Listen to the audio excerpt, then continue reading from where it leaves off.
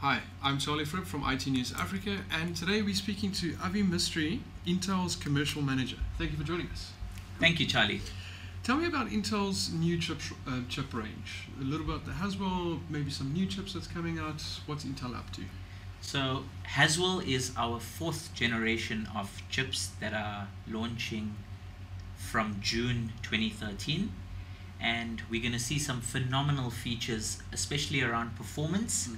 And energy saving. Energy saving is actually a big, big play for us. Mm, mm. Okay. Um, Intel recently decided to stop motherboard production.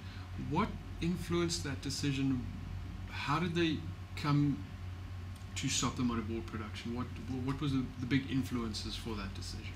So firstly, the announcement to stop the motherboard production is actually very early. Mm.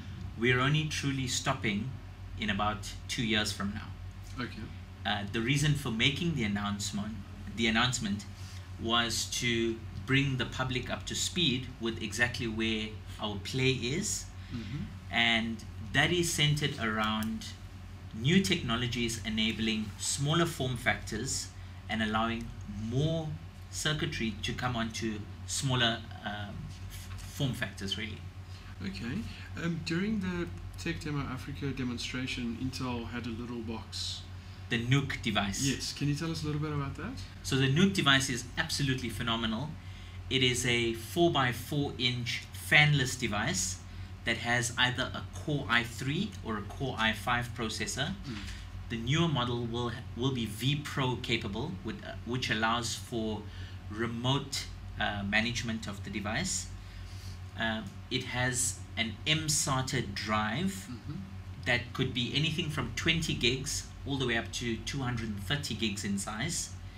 And it really has unbelievable use cases from being slapped behind digital signs to being, being placed into vending machines and even you know used in the casino industry mm with uh, gaming solutions. Okay, so it's like a little, um, almost like a little PC crammed into a box. I would actually call it a full blown workstation crammed into a box. Nice, okay. Um, Intel's partnerships. Um, I, I, know Intel partners with a lot of product, uh, a lot of companies around the world. Um, what partnerships are Intel looking at in the future, and who have they partnered with recently? So being horizontal in the marketplace, we work with all players. You know, whether it's HP, Lenovo, Dell, mm. um, Samsung, Apple, we, re- we, we really uh, across all, all the players in the market. Okay.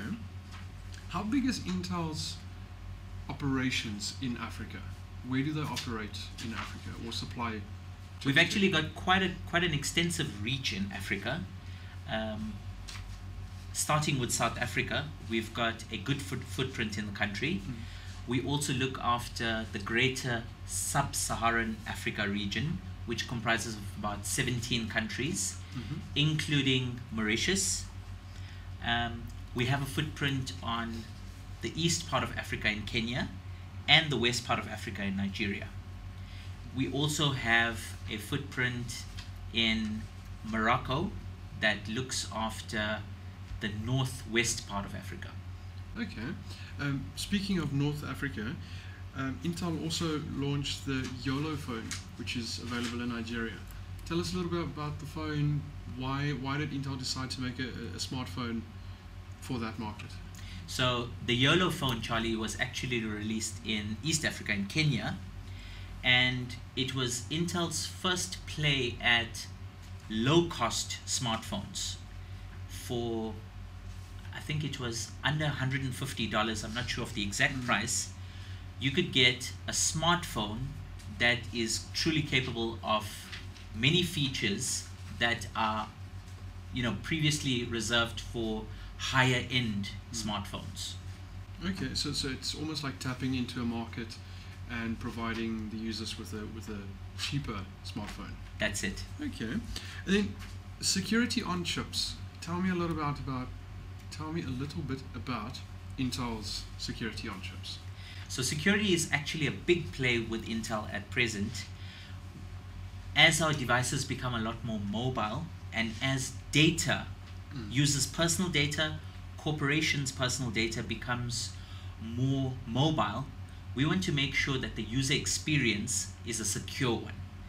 What we've come out with is technologies like anti theft protection, Mhm. which allows for your device to be locked, disabled, um, or even wiped remotely based on certain software and um, features that take uh, Mm. uh, that make use of the hardware that's underlying in your device. Other features are identity protection, which, when paired with banking solutions, allow for a far far more secure banking experience. Mm. And security is, you know, across the board. Mm, that's, uh, that is very true. Avi, thank you so much for joining us. Thank, Thank you. Thank you. Goodbye.